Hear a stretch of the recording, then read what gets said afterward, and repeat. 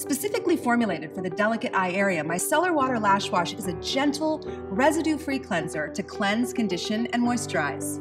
Specifically designed to effectively remove makeup without rinsing, this specialized formulation also prepares the eye and brow area for our award-winning lash and brow enhancement products.